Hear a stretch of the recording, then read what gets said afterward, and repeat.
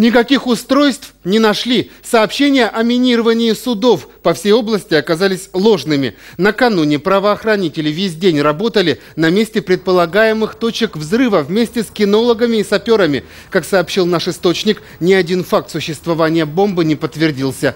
Напомню, неизвестные устроили массовую атаку на региональные суды. Угрозы о взрывчатке получили в Металлургическом, Советском, Ленинском и Курчатовском районах. Аналогичные письма поступили в два учреждения Магнитогорска и один в Сосновском районе. Всех работников и посетителей в срочном порядке эвакуировали, а подсудимых отправили в СИЗО. А сейчас по всему городу, да, такие были сообщения? Комментарии никакие не могу давать по данному вопросу.